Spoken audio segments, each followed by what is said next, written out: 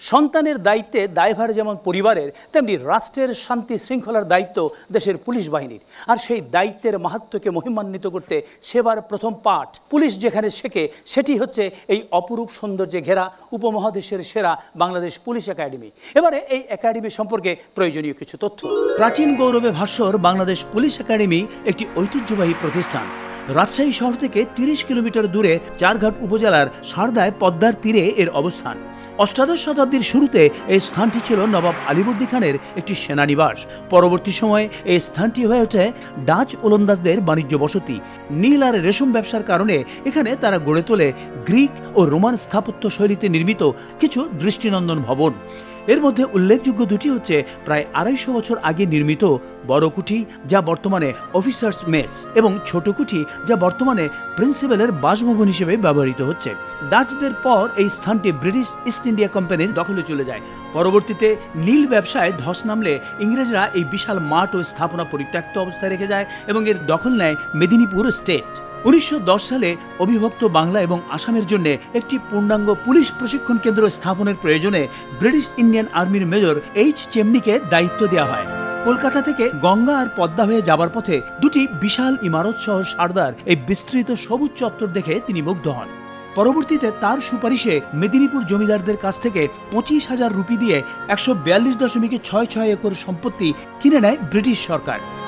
উনিশশো সালের জুলাই মাসে শুরু হয় সারদার পুলিশ ট্রেনিং সেন্টারের কাজ এবং চিরকুমার মেজর এইচ চেমনি উনিশশো বারো থেকে উনিশশো উনিশ সাল পর্যন্ত এই প্রতিষ্ঠানের প্রতিষ্ঠাতা প্রিন্সিপাল হিসেবে দায়িত্ব পালন করেন। মূলত তিনি দাঁড় করান এর ভিত্তি। তার আমলেই তৈরি হয়েছে এখানকার বেশ কিছু গুরুত্বপূর্ণ স্থাপনা। উনিশশো একাত্তর সালের এপ্রিল মাসে হানাদার বাহিনী এই একাডেমির দখল নেবার সময় নারকীয় হত্যাযজ্ঞ চালায়। নিহত হন প্রতিষ্ঠানটির বিশ জন কর্মকর্তা ও কর্মচারী। শুধু তাই নয়, নিকটস্থ চারঘাট এলাকারও প্রায় দুই শতাধিক মানুষকে হত্যা করেছে হানাদার বাহিনী। নিহত এইসব শহীদদের স্মৃতির প্রতি শ্রদ্ধা জানাতে একাডেমির অভ্যন্তরে বৌদ্ধভূমির পাশেই নির্মিত হয়েছে বিশেষ স্মৃতিফলক। বর্তমানে এই পুলিশ একাডেমি দেশের পুলিশ প্রশাসনকে গতিশীল ও সচল রাখার জন্য কনস্টেবল থেকে শুরু করে এসপি পর্যন্ত পুলিশ সদস্যদের সমসাময়িক ধ্যান ধারণায় বিভিন্ন ধরনের প্রশিক্ষণের ব্যবস্থা করে থাকে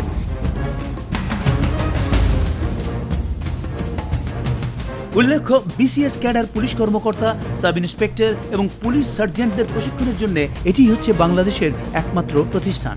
বর্তমানে এই একাডেমিতে তিনটি ক্যাটাগরিতে প্রশিক্ষণ দেওয়া হয়, মৌলিক ইন সার্ভিস এবং বিশেষায়িত প্রশিক্ষণ।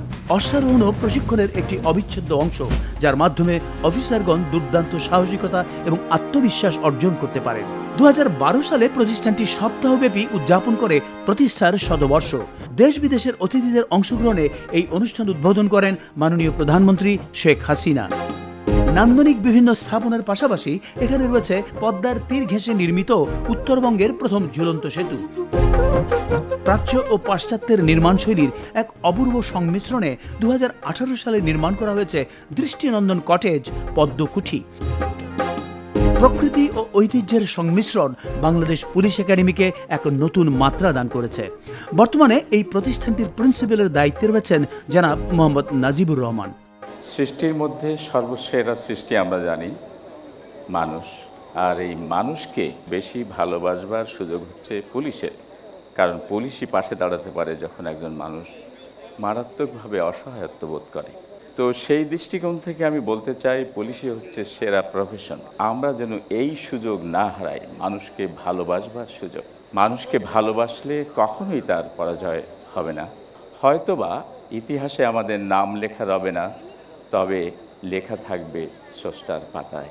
আমি এই প্রসঙ্গে আরও বলতে চাই, ইত্যাদি অনুষ্ঠানের যিনি পরিচালক, তিনি বাংলাদেশের একজন অনন্য সাধারণ সংস্কৃতি সেবী জনাব হানিফ সংকেত। তিনি বাংলাদেশ পুলিশ একাডেমিকে ইত্যাদি অনুষ্ঠান ধারণ করবার জন্য নির্বাচন করেছেন। সেজন্য আমি বাংলাদেশ পুলিশ একাডেমির পক্ষ থেকে আন্তরিক ধন্যবাদ এবং মোবারকবাদ জানাচ্ছি। ধন্যবাদ।